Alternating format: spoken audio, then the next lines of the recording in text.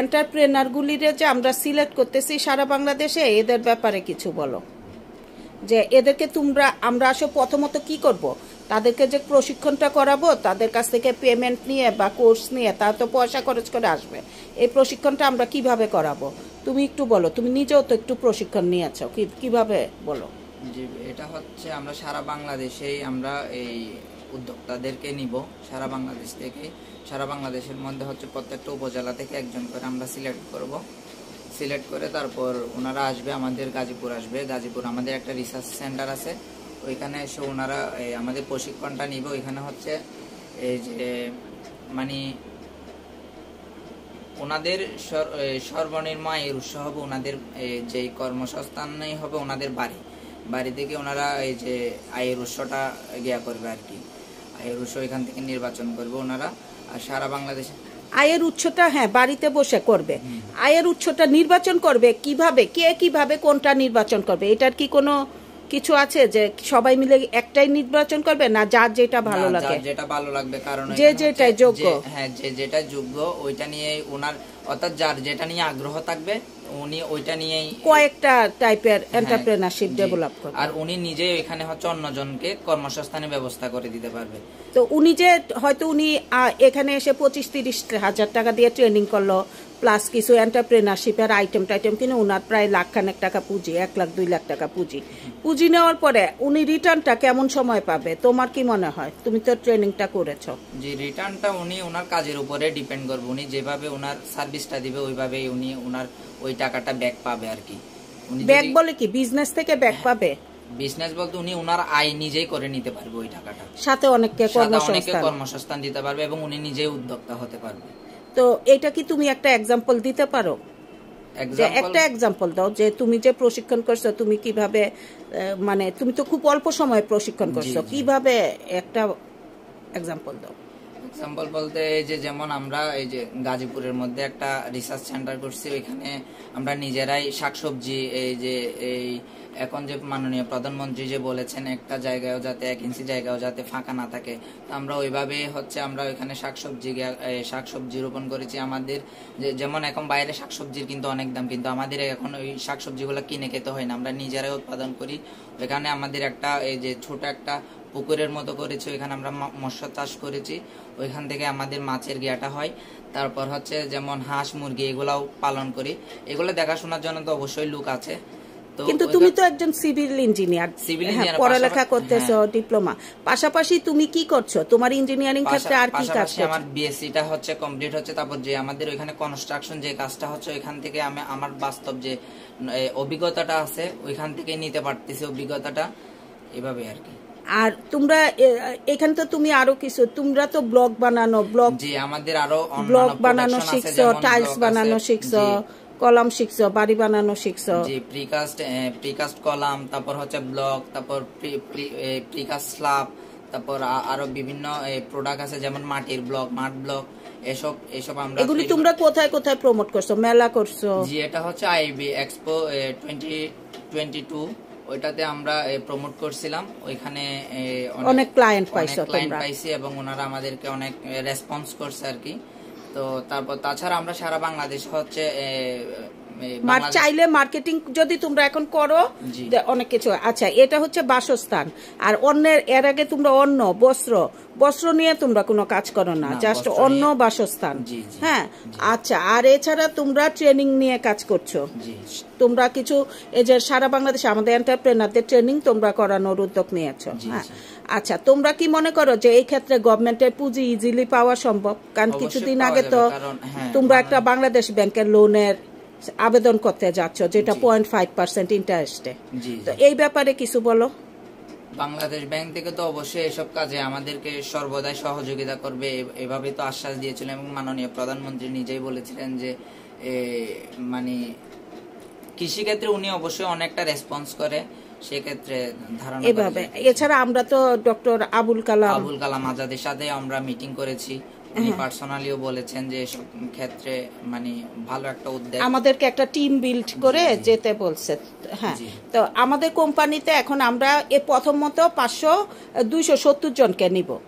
দুইশো সত্তর জনের মধ্যে তোমরা আছো বিশ জন। জি। তাই না? আর এছাড়া কোম্পানি থেকে তোমাদেরকে আলাদা শেয়ার দেওয়া হয়েছে। একটা একটা করে শেয়ার আলাদা দেওয়া হয়েছে। আচ্ছা তো গাজীপুরে যে তোমাদের রিসার্চ সেন্টার এই রিসার্চ সেন্টারের ওনারশিপ কারা হবে? দুইশো সত্তর জন। দুইশো ছত্তর জন অর্থাৎ উদ্যোক্তারাই ওনারা ওইখানে ওনারশিপটা পাবে। ওনারশিপ পাবে। এই ওনারশিপের ভ্যালু হচ্ছে এক লাখ টাকা। আর আমাদের এখানে এন্টারপ্রেনারশিপের প্যাকেজ হচ্ছে এক লাখ টাকা যেটা কোম্পানির সাথে জয়েন্ট স্টকে আসবে। আচ্ছা এটা। আর এখানে কেউ যদি চাইলো যে সে তার বাড়ির মানে সে একটা মহিলা উদ্যোক্তা সে জামা কাপড় ড্রেস ইত্যাদি তারা প্রমোট করতে পারবে। প্রমোট করতে পারবে এখানে বসে এখানে প্রমোট করতে পারবে এবং উনি এখান থেকেই মানে কাজটা করতে পারবে আর কি ওইখানে বসে। আচ্ছা তো এখানে তারা যদি ওখানে বসে তাদের তো তোমরা তো এর মধ্যে আলিবাবা অ্যামাজন গ্লোবাল মার্কেট প্লেসগুলিরও আইডি খুলেছ এবং ওখান থেকেও তোমরা রেসপন্স পাওয়ার পেয়েছ কিন্তু। কিন্তু তোমাদের সাপ্লাই এখনও তৈরি হয় নাই। মানে তোমাদের ডিমান্ড আছে কিন্তু ডিমান্ড আছে কিন্তু তোমরা এখনও সাপ্লাই দেওয়ার ক্যাপাসিটি তোমাদের কম আছে। তোমাদের আরও এন্টারপ্রেনার লাগবে। জি। তাহলে সারা বাংলাদেশে ড্রাস্টিক্যালি তোমরা কাজ করতে পারবা। তাহলে তোমাদের এই দুইশো সত্তর এন্টারপ্রেনারের ক্যাপাসিটি কি হইতে হবে তাদেরকে কি হইতে হবে? তাদেরকে অবশ্যই হচ্ছে আপনার এই যে কঠোর পরিশ্রম তো এটা অবশ্যই থাকবে। তারপর পাশাপাশি হচ্ছে যে মানে এই সাধারণ যে নলেজগুলা থাকে পরিবেশ সম্পর্কে তারপর বিভিন্ন এগ্রিকালচার সম্পর্কে এইসব নলেজ তো লাগবে। আর হচ্ছে উদ্যোক্তার যে চিন্তা ভাবনা যেগুলো আছে ওইগুলো অবশ্যই থাকতে হবে।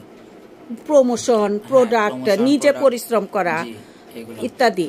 আর ওই দুই লাখ টাকার মধ্যে একটা এন্টারপ্রেনার ইজিলি সে অলরেডি গাজীপুরে অ্যাড হয়েও সে একটা এন্টারপ্রেনার হয়ে যাচ্ছে শেয়ার ওনারশিপের মাধ্যমে প্লাস জয়েন্ট একটা বড় আমব্রেলার নিচে এসেও সে একা করতে পারছে প্লাস তার যদি একটা পণ্য থাকে দুইশো সত্তর জনেরই তো ক্রেতা তার। হ্যাঁ এটা হ্যাঁ। আর দুইশো সত্তর জনের সাথে যদি দশটা করে কাস্টমার থাকে কারণ তো 270 তাইলেও তো দুই হাজার কাস্টমার হয়ে যায়। আলাদা তো কাজ করব ওনারা তো সবাই একসাথে কাজ করবে না তো একজনের চাহিদা তো আর একটা হইতেই পারে ওইখানে।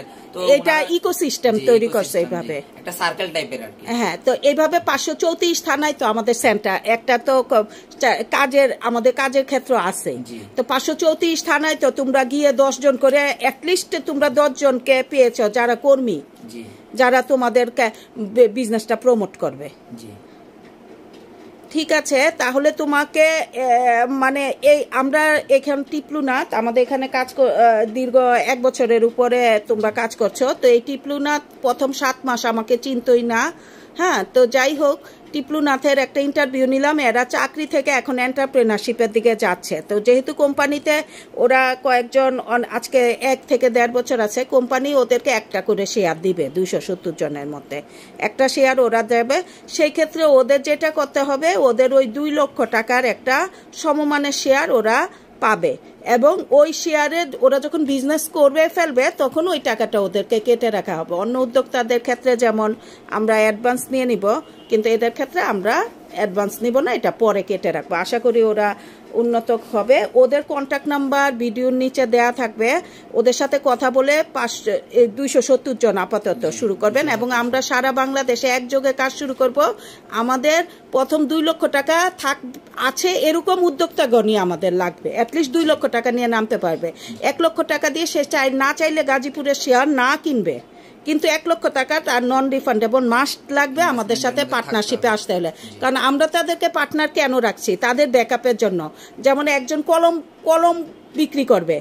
আমাদেরই দুইশো সত্তরটা কলম মাসে লাগবে। লাগবে। লাগবে না? একজন একটা খাবার বিক্রি করবে। আমরাই আমাদের উদ্যোক্তাদেরটা প্রমোট করব।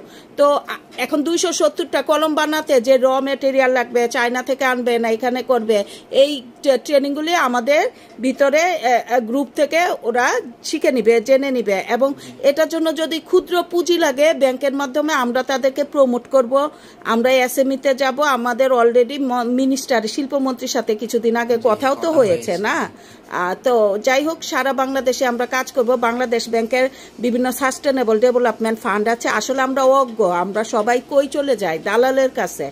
কিন্তু আমরা প্রপার ওয়েতে যেতে পারি না। কিন্তু আমাদের তোমরা তো গত এক বছরে কাজ করেছ আমার কি কোনো কাজে ঘুষ দিতে হয়েছে?